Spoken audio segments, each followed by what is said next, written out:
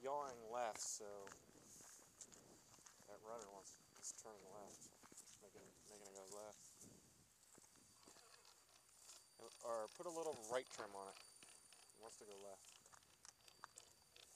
It's like a real fucking engine. To right, not that one.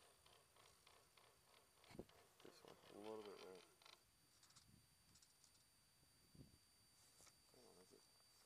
Looks like it's going left. That's the servo. Yeah, that's true. Alright. Ooh, thank God.